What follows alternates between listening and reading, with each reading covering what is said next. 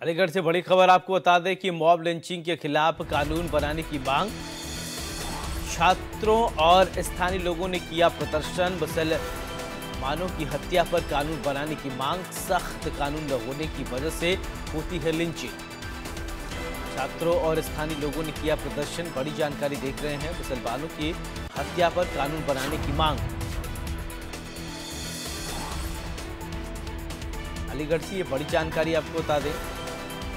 Mob lynching के खिलाफ कानून बनाने की मांग। छात्रों और स्थानीय लोगों ने किया प्रदर्शन। मुसलमानों की हत्या पर कानून बनाने की मांग।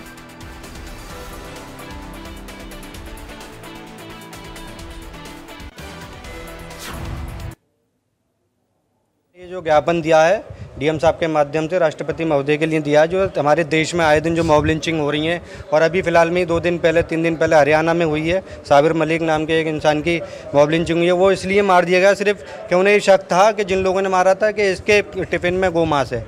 मतलब आपको शक है और आप मारना पीटना शुरू कर देंगे और इतना मारेंगे कि उसकी जान ले लेंगे। उसके, वो कबाड़ का काम करता था और अपने परिवार का पालन पोषण करता था, लेकिन उसके साथ इतनी बेरहमी से मार पिटाई की गई कि उसका इंतकाल हो गया।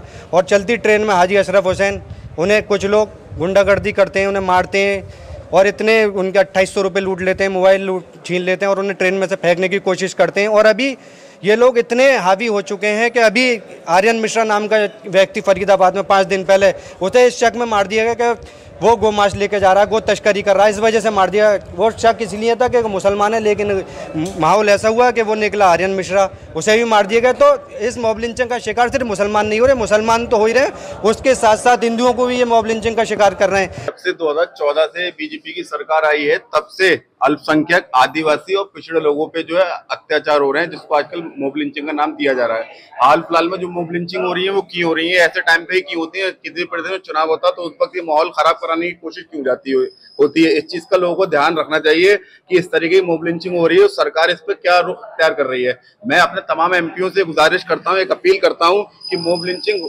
जहाँ जहाँ मोब लिंचिंग हो रही है, ऐसी मोब लिंचिंग के खिलाफ पार्लियामेंट में सख्त से सख्त कानून बनाने की गुजारिश की जाए और इस पर जल्द से जल्द कानून बनाया जाए।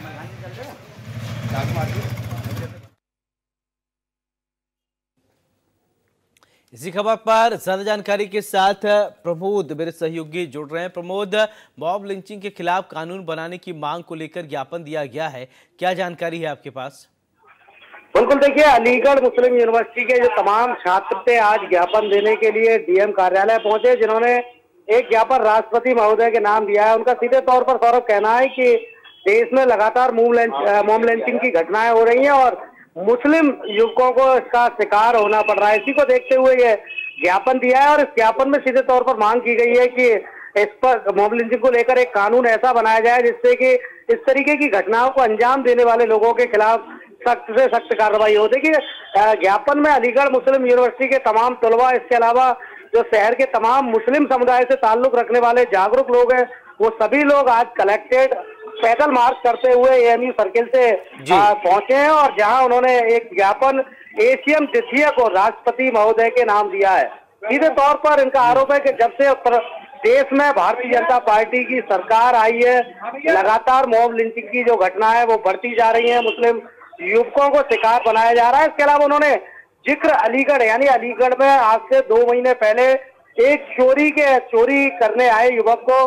कुछ लोगों ने मारपीट की थी, जिसकी मौत हो गई थी और जिसका वीडियो सोशल मीडिया पर वायरल हुआ था। यानी उस घटना को लेकर देश में एक बड़ी सियासत हुई थी। इन तमाम बातों को ध्यान में रखते हुए आज एक ज्ञापन दिया गया है और बाकायदा उन घटनाओं का ज़िक्र भी किया गया है। उसमें कहा गया है कि लगातार जो मुस्लिम है, उन्हें भारतीय जनता पार्टी की केंद्र और उत्तर प्रदेश में योगी जी की सरकार आने के बाद लगातार लोगों को इसका शिकार होना पड़ रहा है। हालाँकि अब देखना यह है जिस तरीके से ये ज्ञापन दिया गया है ज्ञापन के बाद हम्म। क्या कोई कानून में बदलाव होता है या नया कानून बनाया जाता है ये देखना होगा। जी सौरभ। प्रबोध जब ज्ञापन दिया गया तो प्रशासन की तरफ़ से कोई प्रतिक्रिया आई क्या इस ज्ञापन के बाद? एशियन सिद्धिया को ये ज्ञापन अलीगढ़ मुस्लिम यूनिवर्सिटी के छात्र नेता नदीम द्वारा दिया गया है और ज्ञापन लेने के बाद एसीएम ने आश्वासन दिया है कि ज्ञापन को जिलाधिकारी के माध्यम से राष्ट्रपति को भेज दिया जाएगा। उन्होंने एक अपील और भी की है सौरभ। वो अपील जो की है उन्होंने यह कहा है कि जो तमाम सांसद है विपक्ष के जो सांसद है वो लोग इस मामले को बेहद गंभीरता से लें और सदन में बाकायदा इसको लेकर अपनी बात रख के कहे कि कानून जल्दी से जल्दी बनाया जाए। अब देखना है कि कब तक ये ज्ञापन का असल धरातल पर देखने को मिलेगा और जो तमाम विपक्ष के सांसद हैं क्या इसको लेकर कोई अपनी प्रतिक्रिया रखते हैं या नहीं हम्म। रखते? हालाँकि अलीगढ़ मुस्लिम यूनिवर्सिटी के छात्र नेता नदीम का यह भी कहना है कि वो तमाम जो सांसद हैं उनके संपर्क में पिछले काफ़ी दिनों से बने हुए हैं और वो उनसे अपनी बात यानी मांग भी कर रहे हैं कि इसको लेकर एक निश्चित तौर पर ये कानून बनाना बहुत ज़रूरी हम्म। है है। क्योंकि लगातार शिकार किया जा रहा है। चलिए प्रमोद तमाम जानकारी के लिए आपका बहुत बहुत शुक्रिया।